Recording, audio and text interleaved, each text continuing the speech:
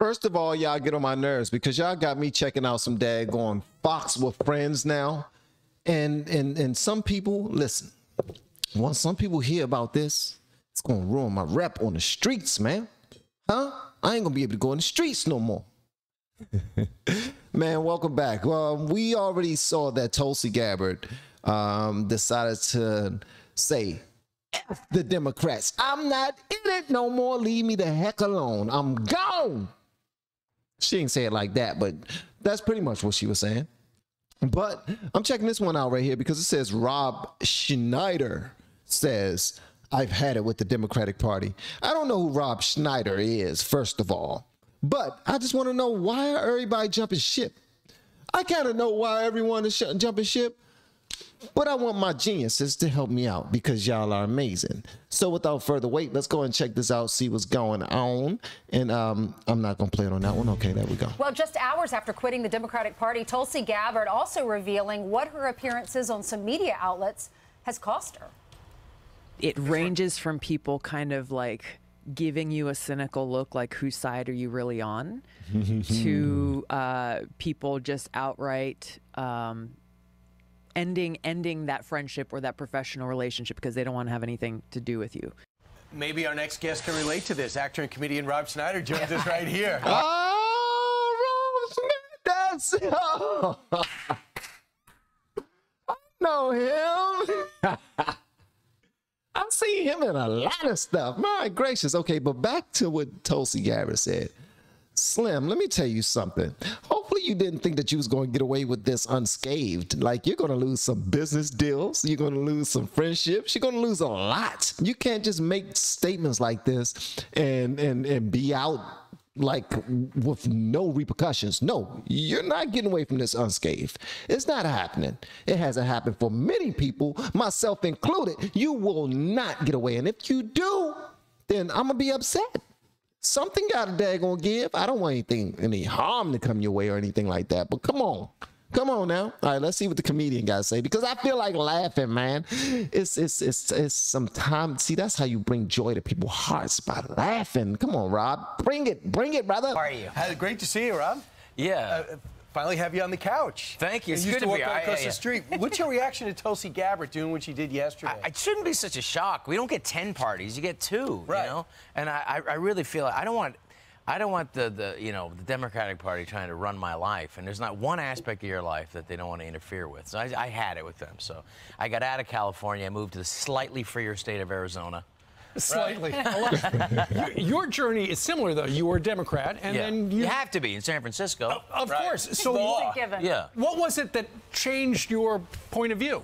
Well, I just, I mean, literally, there wasn't, I mean, taxes. there, there wasn't one part of, of uh, business. I mean, Newsom pushed me over the edge. Right. I mean, it's just like, um, I I just don't think your life gets better there. It gets worse. I mean, um, you know what it was? It was like uh, there was um, in San Francisco. They said you have to remove. I was living in San Francisco. I, I had it made there. It's like it's on the cable car and everything. I had a rooftop. It's, this is the place where I'm going to live forever. And they said you have to have the toilets removed from your house. And I said, what? I- What? What? I don't have toilets in front of my house. It was flower pots. Right. They made me remove all the flower pots. So it just got crazier and crazier. And maybe I'm Oh my gracious. What? Are you telling me that people was doing doing their business inside of your flower pots outside? Come on out. I thought this was going to be a joke. I thought they was just going to have him on here just for a segment of comedy. But he's been 100% with you. He's saying, look, I gave up. I, I had to give up Hollywood pretty much because I made a decision. And I'm, oh my gracious. I'm not going to say his name, but I'm working with an actor right now from um, in Hollywood, um, a good actor, and uh, this guy and I have started having conversations, and that's one of the biggest things that's on his mind is losing all of these relationships based off of how he feels and how he think about where the country is going. That's it. I'm like, bruh, you mean to tell me that you got to worry about your career by simply having an opinion, putting your family first? No, man, this is crazy. I'm looking at this all wrong. San Francisco, San Francisco either has a huge homeless problem or a gigantic camping success story. you have to look at both What ways. makes you want to be so bold and so vocal about it? Because uh, Tulsi said if you don't agree with the Democratic Party, you're trashed, you're canceled. Yes. Yeah. So absolutely. She's right. Do you right. worry about that getting jobs? Yes, of course you are. Yeah. As an actor, you're trying to get, you're always coming from a place of trying to get work. But at a certain point, you know, you have to worry about, I mean, I'm in my 50s now, late 50s.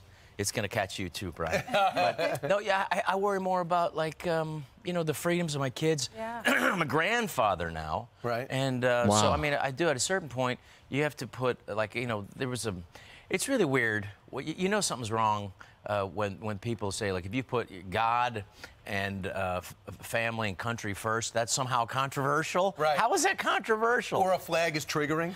yeah. So Right. I think at a certain point, you have to say, enough of this and stand up to it. Did you lose friends?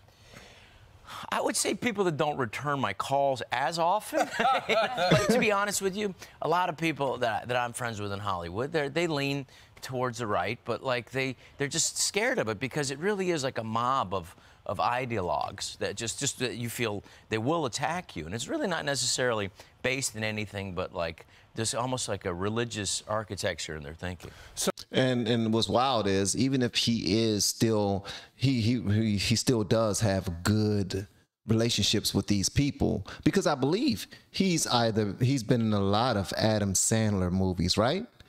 Am I am I correct? or was it Ben Stiller movies? I gotta think. I, and I'm not trying to say all white people look the same. I'm not trying to say that at all, man. That's not what I'm saying. And I'm not trying to say I don't know if they're Jews. Okay, but anyway, I'm gonna leave that alone. I'm gonna leave that alone. But he was in a lot of uh, movies and, um, and and and and projects with those guys. But if they know that he made a public stance the way that he did, sometimes to save their own careers, they will probably distance themselves from him, if that makes any sense. And honestly, I can see why they do that. I don't agree with it. I don't agree with it, but I, I see why they would do it. It makes sense to me. I mean, we are all here to take care of our families, take care of ourselves and our families. Trying to put God and family first. That's that's what we do, right? God, family, country first. That's what we do. So, while while doing that, we got to consider are our friends enough for us to sell our career down the river? No matter how stupid the situation is or how political the reasons are, must we also take a stance in order to save our friends' careers as well? Like, we're like, look, bro, you the one decided to be all political. I'm cool with just going to work, doing my thing, receiving my fat checks so I can continue to live the lifestyle I'm living. And, you know, man, I wish you well. I don't know how y'all feel about that, but feel free to let me know. Like brutal honesty, that's what I'm trying to get from the people who support this channel. All of this lollipop conversation stuff, like just trying to sound, trying to say the correct thing and all that, man, that's out the window. We don't have enough time for that political correctness stuff. We got to say exactly what it is, how it is, period. No more BSing. So let me know whatever y'all feel So about when it that. comes to changing party, uh, to quote one of your characters, you can do it. You can do it. You, know, you have You to go can with what, what, what feels right for you. We get two parties. We don't get ten. Sure. And I want to, uh, you know, It was Adam Sandler. Yes, I got it right. have a party that that uh, represents my core values. And, and you were talking a moment ago about your family. You actually, so you've got this brand new movie out, Yeah. opens wide this uh, Friday. It's called Daddy Daughter Trip. Your actual daughter is playing your seatmate in the front seat of a car. yeah. She, That's um, cool. Well, first of all, That's we started trying to make the movie years ago. And by the time we were getting closer, my daughter was about, you know, uh, old enough to play the part. She started looking over and she said, "Well, who's going to play that role?" We were writing, my wife and I, Patricia, and she, said, "Well, you know."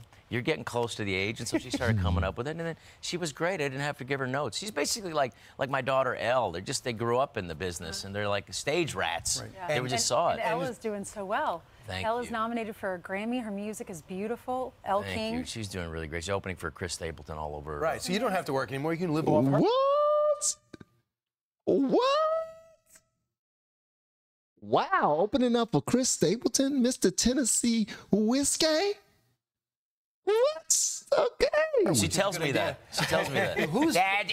I got your retirement figured out, Dad. I got. If you need to go into a home, I got it set. Well, I assume that's good impression. We don't know. We haven't seen her off camera. So, who plays your wife in this movie? Uh, Jackie Sandler. And is she related to? Uh, she's related to Adam Sandler. So fun. Boom. Boom. See? They see they making sure they take care of each other. You know what? He ain't gotta worry about his relationships in Hollywood because he made some good decisions in the beginning. He showed his loyalty, now they're showing theirs. Uh, you know what? Everything I said is out the window. It's just flying out. That's a bird flying out the. Okay, and I know they don't sound like that, but okay. You've created She's done the impossible. There's a sense of family with the Adam Sandler and the Rob Schneider movies. It's good. You have, you have I to. There's a sense of comfort. First of all, when you're shooting something, you have to be comfortable with the person. And so, you know, when you've spent so much time with these people, you just we just start rolling and shooting. And I played her wife in Home Team.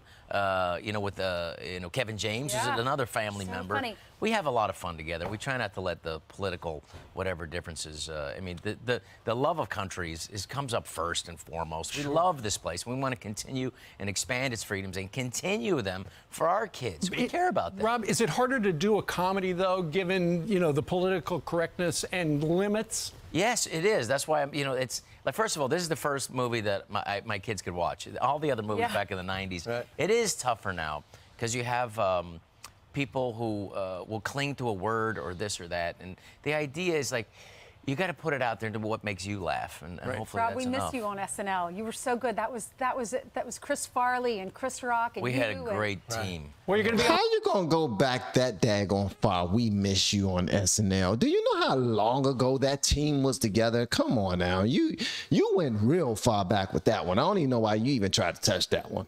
Ain't nobody thinking about that team no more. I know I ain't.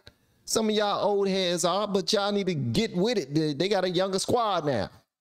They probably a little too liberal for you. they probably a little bit too liberal for y'all. Y'all don't want to go over there and enjoy their stuff no more. As a matter of fact, what do conservatives watch for for for humor, for comedy? I need y'all to let me that and let me know that because I love comedy. I love humor. I love to laugh. I need y'all to let me know that, man, because I will go check that out.